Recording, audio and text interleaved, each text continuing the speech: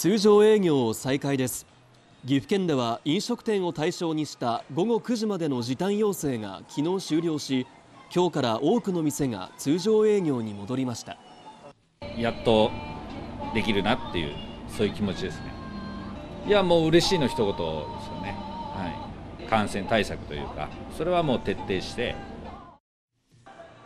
岐阜県では先月いっぱいで緊急事態宣言が解除され昨日で時短要請も終了しましたが県は引き続き飲食店を含め各業界に感染防止対策の徹底を呼びかけています。